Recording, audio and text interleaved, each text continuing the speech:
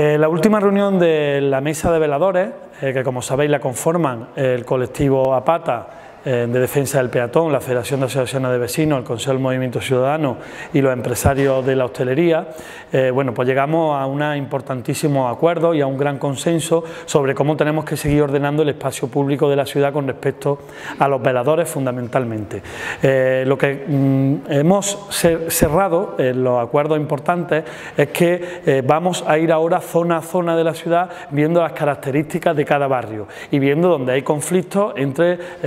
posibles eh, de los vecinos y posibles empresarios de la hostelería que no cumplen eh, con la ordenanza municipal. Por lo tanto, ahora eh, hay una pequeña comisión técnica, fundamentalmente técnica, que se va a encargar de ir barrio a barrio, prácticamente calle a calle, para ir solucionando,